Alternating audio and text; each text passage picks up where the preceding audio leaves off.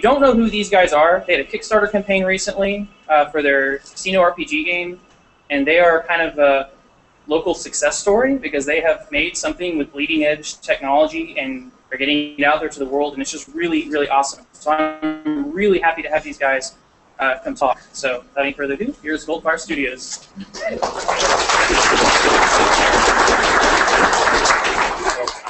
Um, I'm James, and this i is Luke. And uh, yeah, so we're Goldfire Studios. We uh, we actually work here in downtown. We've got an office a couple blocks over, and we make uh, web-based games with HTML5, so JavaScript, Node.js, things like that. Um, so we're going to give you sort of a general overview of game development with JavaScript, and feel free if you've got any more, you know, deeper questions to, to cut us off and ask those questions. We'll be happy to uh, talk in more detail about uh, whatever you want to know about. So, okay, well that was sort of the overview of Goldfire Studios, but uh, basically Goldfire started in 2008 um, when I was going to OU, um, and then we participated in the Venture Sport program here um, in this building.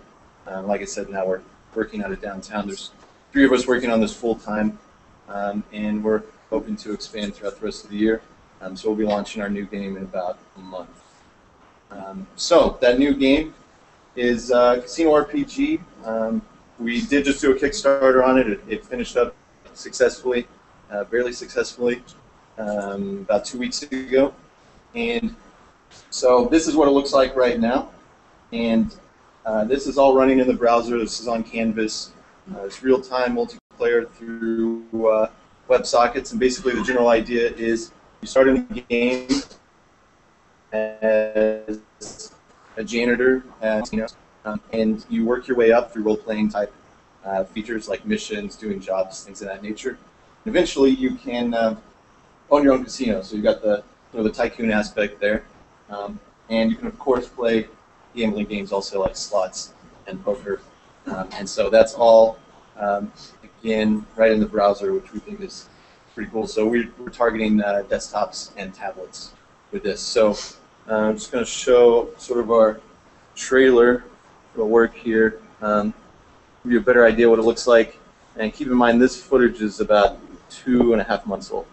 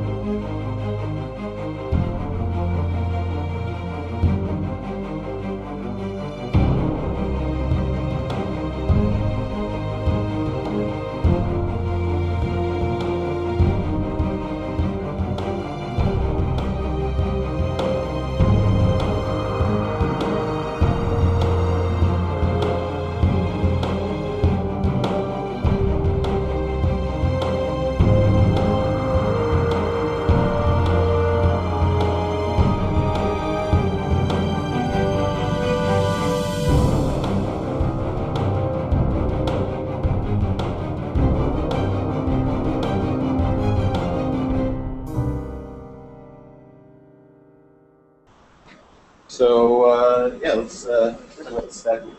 And if we got time at the end, we uh, we'll try and pull up a live demo of what the game looks like.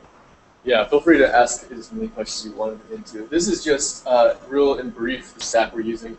Obviously JavaScript uh, on the front end since we're using HTML5 and Canvas. On the back end we're using Node.js and that is great, very easy to be able to use the same code you use on the front end to the back end and kind of have the same simulation if you're running one on the front and the back end and just use the code on both.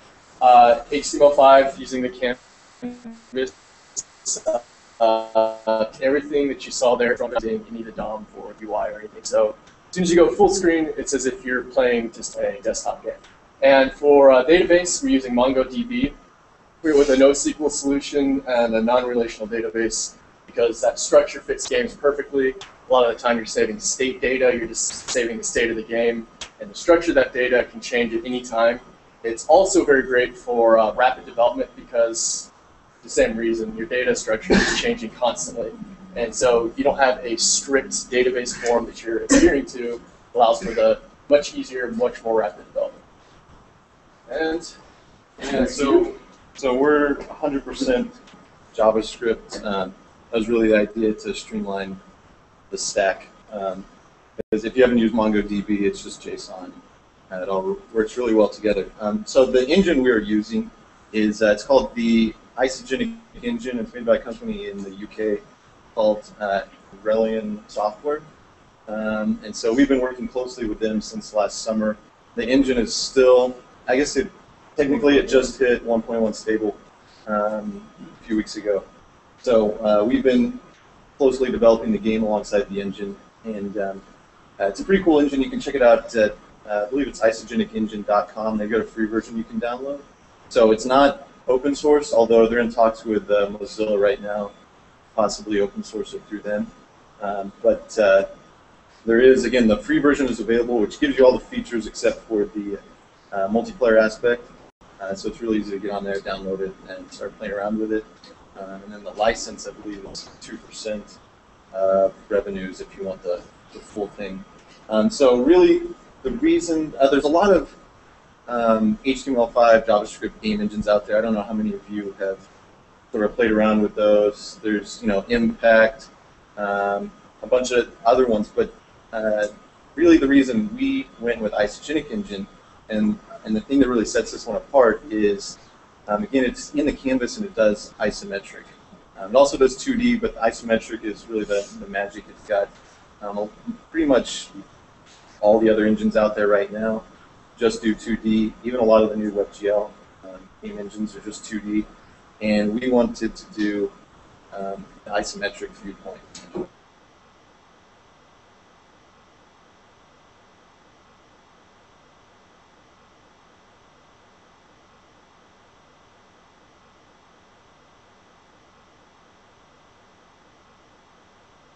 Know, your same simulation run in, the code. That same code will run right on the server, um, which makes doing those um, uh, server-side operations a lot easier. And then uh, it's also got full multiplayer uh, support built in, so we do the multiplayer through WebSockets, and um, it's got options for Socket.io, uh, but they've also built their own. It's called Net.io, which I believe is open source. And the advantage with Net.io uh, Socket.io is really nice, but it's sort of bulky. Um, so Net.io really streamlines it and makes um, the, the data being passed between uh, very slim, very uh, cuts out a lot of the headers and things like that. Um, so again, rapid development. The engine is undergoing rapid development right now. Um, it's it's pretty much full featured at this point. Uh, there's a few things that are missing that I'll talk about shortly. Um, but again, if uh, if you're interested in game development, I strongly suggest checking out this engine. And uh, let's see, the other engines, I, I think you've. Uh, I played around a little bit around with uh, Impact. Impact is much more of a lightweight. I mean, it's professional, but it's very lightweight. Isogenic is very feature heavy, very feature so you uh, have a much more professional engine at your disposal. Also, with Impact, there's none of the backend support. Isogenic engine, uh, it integrate seamlessly with the client side and server side. So Impact, you're going to have to write your own uh, uh, server side or find something else. Yeah, there's actually, over the last few months, we've seen more and more uh, engines popping up. So there are a few new ones that are in early uh, development right now that have isometric view also. Uh, one I saw earlier this morning, actually, I think it was called the Sheet Engine. Um, it's got some pretty cool features. It's um, it's got real-time uh, shadows built in, something I hope uh, the isogenic engine gets. Um, but yeah, I mean, there's there's a lot going on in this space. Mainly, one of the big things we're still missing is tools to um, more easily develop with HTML5 games. But I definitely say it's advancing. Um, so yeah, one of one of the areas that's missing still that's being worked on with uh, isogenic engine specifically is audio. And um, I always hear this is an extreme pain point for games in the browser. Uh, so Isogenic Engine suggests using a library called Sound Manager 2, um, which companies like SoundCloud use. Problem, there's a few problems with Sound Manager. The main one is that it uses Flash as a fallback. Uh, we don't use Flash. So the other one is it's only that only uses HTML5 audio element. Um, and HTML5 audio element is really easy to use and it's got some nice features, but it's it's pretty slow. It's not you don't have precision control over it. You can't uh, add filters and effects and um, different things of that nature. So that's where uh, Web Audio API comes in, which is uh, in about the last year, Google has developed this, and it's now integrated into um, all the WebKit browsers, a lot of the mobile browsers now. Um, it'll be coming to Firefox in the near future, um, and uh, who knows when it'll come to Internet Explorer. But um, so we, you know, we needed high quality audio for our game, and we went out and looked at a lot of different libraries that are out there. Most of them don't implement Web Audio API at all, um, and the ones that do that don't have any fallbacks. So we decided to write our own, um, and we open sourced it about three weeks ago. It's called Howler.js. Um, and basically what Howler.js does is it defaults to Web Audio API. Um, it gives us that fine-grained control over the audio playback um, and builds in a lot of um, handy features like automatic, uh, an automatic cache pool for the sound files. Um, of course, the you know play, pause, fade in, fade out, um, things of that nature. Uh, one of the cool things we built in is audio sprites, so you can define sort of segments of the audio file, and then attach a name to those, sort of like you would with CSS sprites uh, with, a, with an image sprite, and play back those uh, pieces of the audio without having to load lots of different audio files. Um, so let's see. Um, this, I don't know if you can see this very well, but this is um, the code for Web Audio API, basic um, playback for Web Audio API. So HTML5 audio element, again, is great, and it's very simple. Um, but we want the performance of Web Audio API. Unfortunately, with that advanced functionality, the API is a little, little bit more tricky. Um, but essentially what it's doing here is it, uh, it's doing an XHR request to uh, download the audio data, and then with that data you can uh, um, apply you know, different effects, uh, speed it up, slow it down, a lot of different advanced features. You decode that into a buffer, load it into the audio node, which then hooks into the speaker as the output. Um, what we've done with Howler is we've abstracted all that away, added the HTML5 audio fallback, and all those other features. Um, and so if you want to play sound, you just define it like that. It does everything behind the scenes, and then sound.play and, and your sound uh, is off and running. If you want to actually uh, pull up some of the examples here maybe um,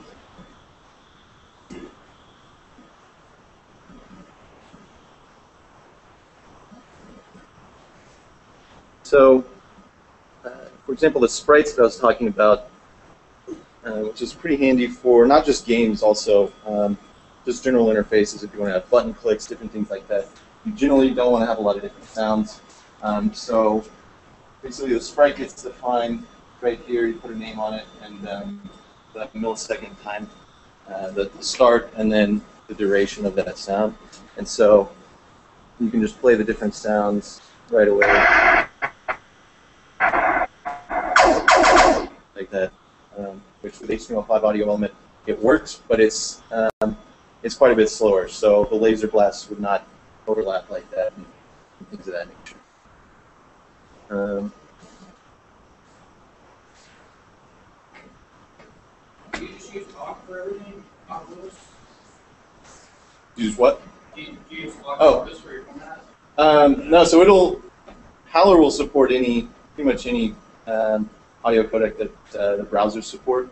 Generally, to get full browser support, you need to use um, both uh, MP3 and OGG um, because I believe it's Firefox doesn't support MP3 right now. Everything else supports MP3.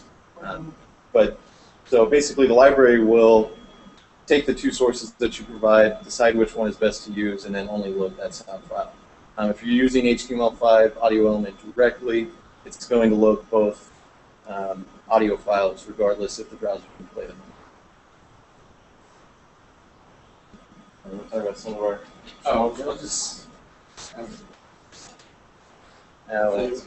Got it. Um, so there's obviously some challenges um, developing for HTML5 games. It's obviously uh, very new. Like I said, there's not a lot of tools out there for it yet, um, and so we've had to sort of navigate some areas that uh, might be uh, sort of easier with other platforms. Um, so scalability is obviously one, um, and just just raw performance drawing on the canvas. Uh, you'd be surprised. I mean, there is hardware acceleration built into the canvas pretty much everywhere now, and um, on on Casino RPG now we're getting pretty steady, uh, 60 frames per second. within the If you, have, if you have a really good GPU, you can go up to like 200 frames per second. Yeah, yeah, our artist gets like 200 on his you know, artist really beastly computer, but uh, on regular computers, yeah, I mean, it gets regular, you know, very smooth um, animations. Um, you want to talk about some of the things you on? Um, one of the things, yeah, uh, performance-wise, one of the big problems we have is uh, Firefox, Macs, and uh, Linux. For some reason, they don't Yeah. support. What was it? They won't do hardware acceleration; they just do Right. software. So you'll see uh, you'll see a steady 60 in Chrome, and then it'll grind down to like 20 in Firefox. And I'm not sure why they made that kind of decision, but it's been a little bit of a development hassle in the meantime. Um, the image sizes in the GPU, the way the GPU handles images is a little tricky. So if you hand if you have too much Im- image data, uh, if you just just a few pixels over in the wrong uh, direction, then uh, your GPU will be uh, you'll be using maybe 10% of your GPU, and in uh, your case, it'll suddenly uh, wave between 80% and 20%. So the, the big issue comes with animations. Um, so for example, um, when we have like people walking on the street, that's done with sprite sheets. So the full uh, pre-rendered, you know, walking animation of the of the player. And um, the problem is the GPU is having to swap out that image on each frame. Um, so as the image size gets bigger, even if it's um, the completely empty image, there's um, you know, it's just a transparent PNG. It still has to go through all that data, and you sort of just hit a point where it just drops off, and um, you get no more performance. Um, so we've had to work around that sort of painfully by chopping up images. And for example, the character images, one character is, um, I think, 82 separate images, um, which would be nice to have it in one sprite. We've had to slice that into nine separate images for each character. Um, make the GPU happy. Another area was with the, the buildings. So the buildings are pretty large images. Um, we need the sprite sheet from each angle. Um, and so we've had to do some tricky things with the, the light animations on the buildings, cutting out um, the uh, empty space around those to, to uh, get the performance to work. Um, How many uh, how many players per server are you guys expecting to be able to support? Um, yeah, so we're still working on that, but we're expecting concurrent. Um, it depends. So we're we're doing hosting in the cloud.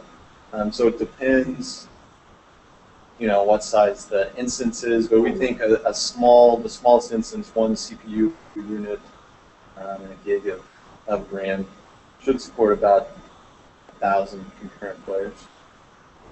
So it's it's fairly scalable, and, and you can scale up one one pretty high. While we're on the subject, um, is your client-server relationship more one like that the client just simply displays what's going on in the server, like a remote desktop kind of thing, or is your architecture Talking about like an authoritative server. Yeah, yeah is it, is it, are are you running parallel simulations in the client and server, or are you just displaying the Some- server? Somewhat. So, um, One of the things like were talking about, with the more scalability you have, uh, if you're talking about, there are kind of two ways to do do it. Uh, one is to render in real time, where the server's constantly streaming data to the client on all positions of everything that's on stream. And the second way is to do where a lot of thing, a lot of different uh, traditional RPGs and stuff do it. Is every time a player moves, you just send a move request to the client, and the client simulates that move. And so you, since you don't have to constantly stream that entity data to the client side, you're actually removing a lot of the bandwidth. So what we're doing is to support scalability, is we're only streaming moves instead of streaming them constantly. And that allowed us to scale up a lot more with a little bit less. right. Um, but the server does keep a state of where everything is at all times. Um, so you couldn't, you know, type into the console and move all the way to the other side of the map. Is there like some sort of authoritative push, like once a second or something, to keep the client synced, or do you not? So, yeah, that's a good question. That is something that's built into the, the engine that we could use. Um, but for this game, it's not really that necessary. Um, just because basically it's people walking around outside, never gonna know if someone else is off by a couple pixels or something. So, so we, we're just opting not to put that little notion. Yeah, and I think one more answer to the question you're asking, we're trying to keep as much state data as possible in the database rather than being uh, just processed in the server. That way we can spin up as many instances as we need. As long as we're keeping that state, state data in the database, we can do replicated across uh, all the reload all the assets the browser. No, so we've got a dynamic loader built in. Um, So, for example, with the characters, um, there's no way we could do it. Obviously, there's right now we've got about hundred character customizations, which um, uh, renders out to about 101,000 images. Um, so those get dynamically loaded in. Some things get preloaded in um, that are, you know, the UI, uh, the tile set for the ground, things like that. Um, but other other areas that don't need to get loaded in right away will get loaded in in the back. Do you have a You mentioned that, uh, you state data, so you set up your server, so will each server instance be an identical copy of the world, or will each server or server instance have its own? now they all hook into the same So game. they all, Yeah, we would like to keep a persistent, like, rather than sharding servers. Like so something. how are you, I guess, how are you gonna deal with kind of growth of the world that's, get thousands of views, or just gonna build in your own? Yeah, there's so two ways. Um, one, we're going to, um, after launch, slowly start to roll out multiple cities, um, which are all part of the same game world, but you'll have to travel to those separate cities. Um, and two, the game world, um, so it's it's again city based. It'll grow out automatically based on population, and then to keep things spread out. Uh, well, there's two things. If, for example, if a player doesn't log in for a month or two, their casino will get sold back to the bank, um, and then another new player can come in and take their spot. Um, and also, um, the uh, when players come into the game, they're not going to just go to the center of the map where um, everyone's been from the beginning. They'll be uh, more sort of intelligently placed around the game world to, to match them with casinos. We sort of want them to go into. Come back in about 12 months, and I'm sure we'll be giving a presentation on the challenges. Yeah. So that'll So another uh, another thing with performance is is caching, which has been a big boost, and not well general browser browser caching as well, but specifically um, caching draws um, on an off-DOM canvas. Uh, so drawing to an off-DOM canvas is dramatically faster than drawing to the, the main canvas. So a lot of the um, highly graphical and CPU-intensive things that we draw, we draw off off screen, off DOM, um, render it there, cache it there, and then draw it each stick onto the main canvas. So it's kind of like you're swapping buffers, like. Um, let's see. Mobile. So mobile. Um, so right out the gate, we aren't uh, officially going to be supporting smartphones. Um, it's mainly going to be tablet and desktop. Um, now, it will run on smartphones just fine, but you run into some issues with screen size. Um, and actually, interestingly enough, um, an iPhone actually gets a better uh, frame rate than an iPad, just because it's rendering less data on the screen. And it's, um, but you know, you run into UI issues and things like that. But uh, yeah, I mean, generally the performance on mobile is is a lot better than you would expect, with with one exception. So we tried to do um, the uh, high DPI displays. Um, that's not ready to work with HTML5 yet. Um, basically, we got about two frames per second once we switched to that. but other than that, you know, it still looks pretty good. So, uh, do you have anything else on that? Okay. Uh, we'd be happy to answer any other questions.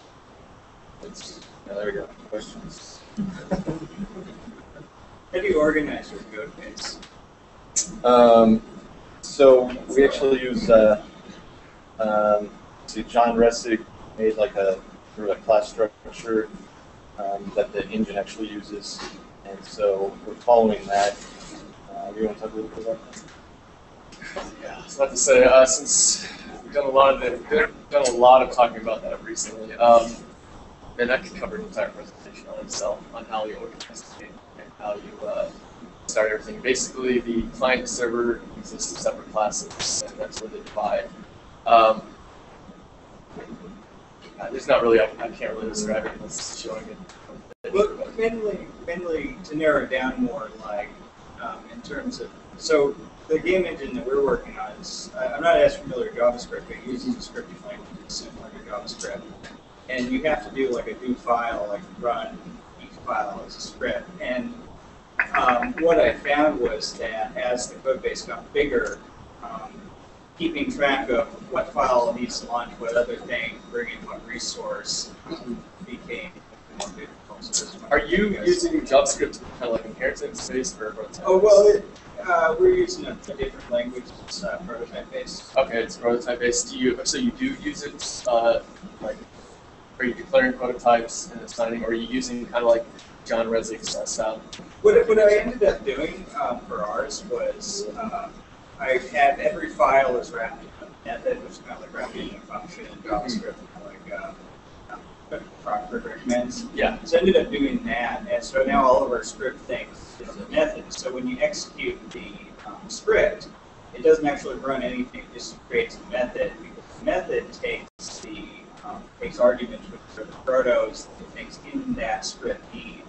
Um, and so that, that was how I, instead of having to say do file, do file, do file, and, and pick stuff up afterwards, uh, I set it up to where when it initially loads, it just runs all the scripts, but all the scripts are just creating methods, and the dependencies of the dependencies of each proto, like this one proto might write another, uh, get passed in as arguments. Yeah, I think you basically described how you have set up. Oh, well, the- okay, the- so we're the right the- inheritance structure. Yes. Yeah. I thought you were asking more about like how do you organize like that main Classes. project? Yeah, there's a kind of a main that will main stuff. We have to add classes. Well, and so when we deploy it, we're not deploying all the different files. I mean, We've got a couple hundred different files. The deploy uh, script will take all the files, combine them into one, unify it, um, and so there's just one game.js to get served to the client. Pretty good. Um, it's Getting bigger. it's about 600k right now, um, so not not too bad. Identify them. Yeah, yeah. Um, so the the rest of the assets, though, um, we obviously don't load all these in, but with all the character images and everything, it's about uh, two gigs. Um, but generally, when we load the game in, you'll only be loading uh, four or five megs of data. Um, so yeah, this is the current build of the game. Um, We have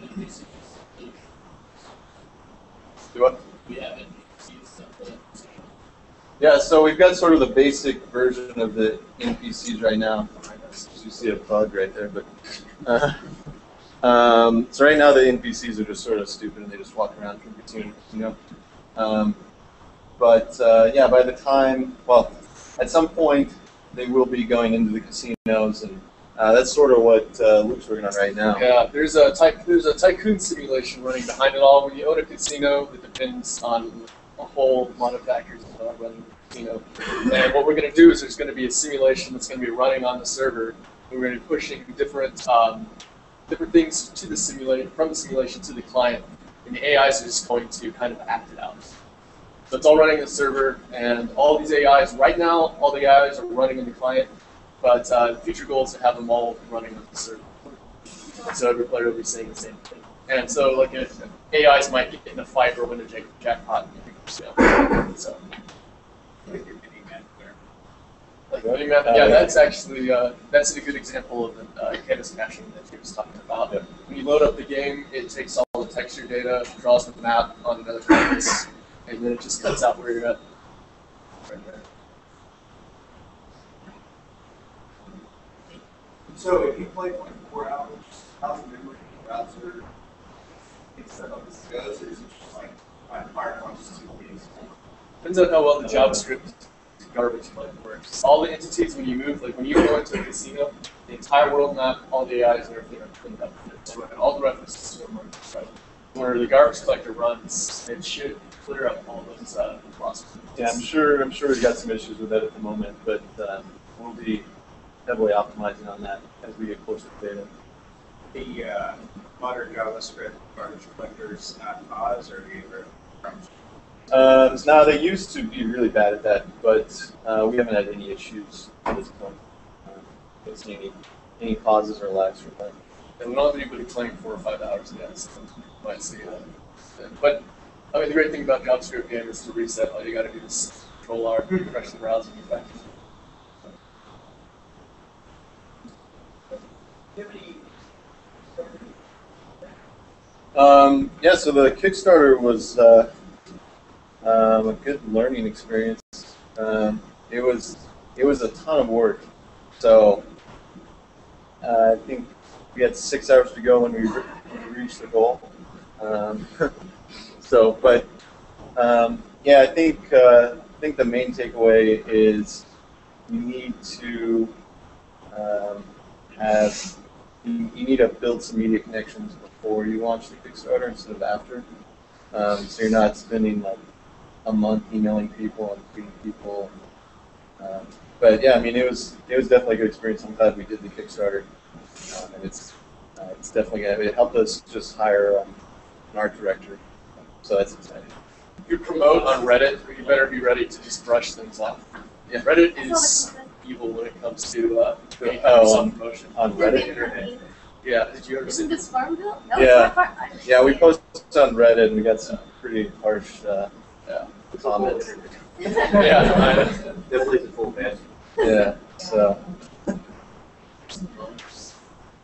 So uh, how do you make money from the game? Um, yeah, so the game's free. Um, so that's one thing that we've already launched as a, a game platform, and it's got, uh, you can see it here, it's got um, this uh, universal virtual currency built in called Gold. So players can just, so it's all microtransaction based. Um, slash, there's a subscription, optional subscription element built in as well. Um, so they can go and buy the gold, spend it on things like, you know, they want a pirate costume for their character. Uh, you know, okay. Um, all right, last question. We are trying to avoid that. No pressure. It needs to be a good one. Oh, and we have we have stickers, by the way, if anyone. I'd like to actually also point out a couple of our interns in the back. Jason and Susan, the two sitting in the chair right back there. There's a couple of interns from uh, so, Uh, I also want to announce if um, if any of you are interested in game development, um, we are starting up a, uh, a game developer meetup. First meeting will be next month at some point, um, so you can check that out. Get on the list at okgd.org.